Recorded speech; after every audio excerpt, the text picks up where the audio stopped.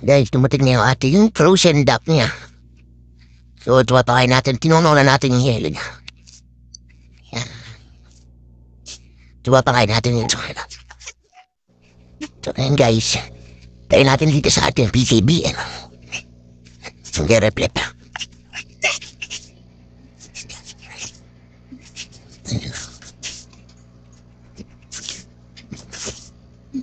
Ay, gusto, gusto nila.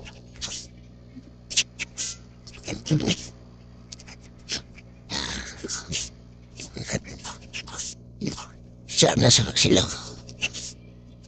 Alright. Hindi natin yung mga fry natin. Yung mga fry natin. Yan natin.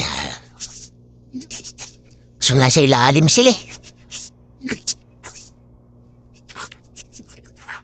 No, try natin dito sa baba. Ito na si Baboy mga fry.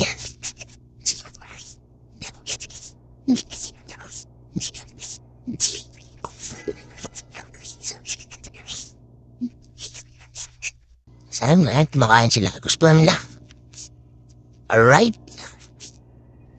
Kinand natin iba. Ayan. Ito yung mga fry natin dito ng choco marble. Yung iba, ayan, bulad na. Kita na yung pagka-marble niya. Ayan, may batik-batik na.